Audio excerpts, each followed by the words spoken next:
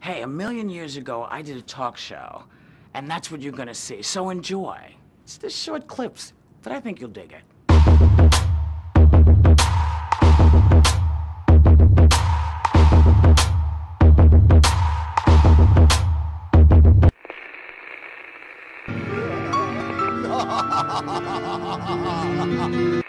Hi, Stephen King. Hi, Whoopi Goldberg. How are you? I'm great. I'm thrilled that you're here. I'm really, I'm all a shiver. You know, it's it's the it's uh, maybe the wrong. It's kind of punished to say, but you know, I've been a fan for a long, long time. You know. God love you, and may you live forever. Okay, maybe not. I saw Pet Sematary. I read the book. what is it about the books that keeps people coming back for more?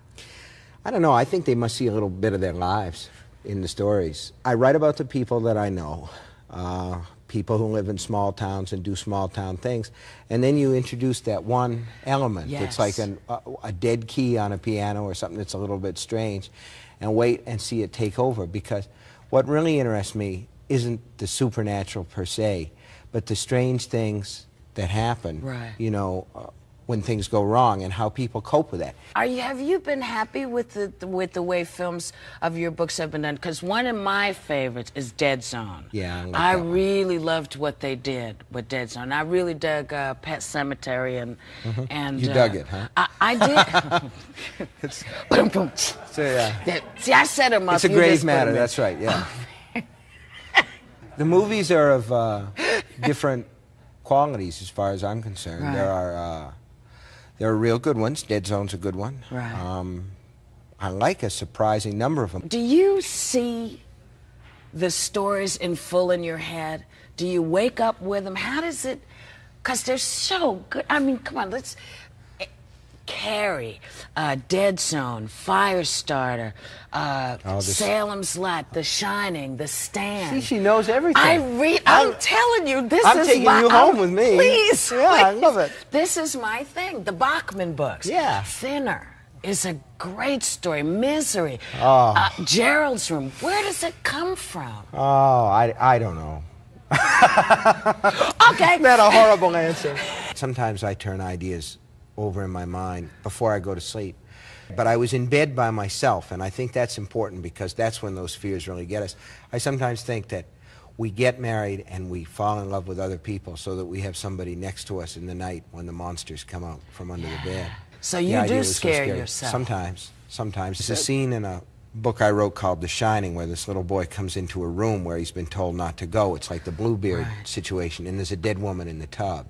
And uh, he turns away from her and closes his eyes and says, I didn't really see that, I didn't really see that.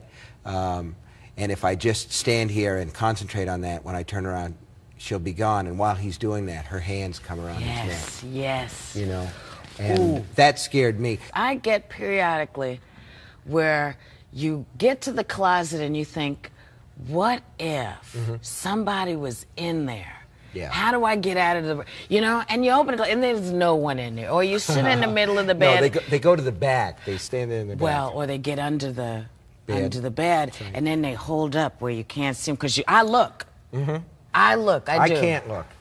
I I, can't. I can cannot look. See, my thing is the thing that really scares me. It isn't like the guy going in your Right. face.